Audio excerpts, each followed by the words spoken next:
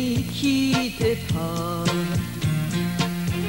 はずなのにやさぐれ女と指さされわけもなく泣きながら雨の降る中ずぶ濡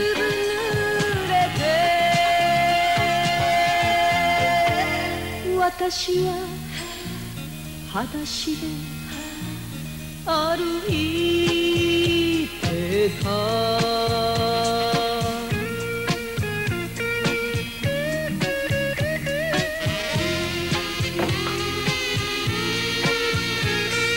優しい言葉をかけられて。どうぞ。写真家の吉田です。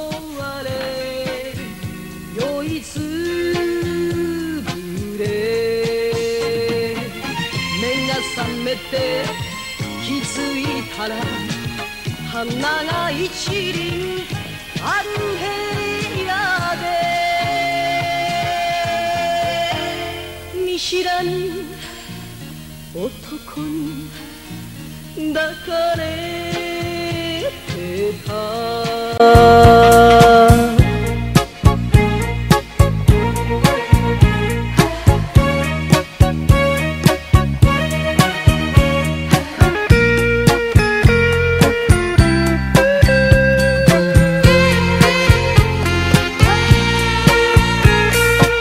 まずきばかりで夢がない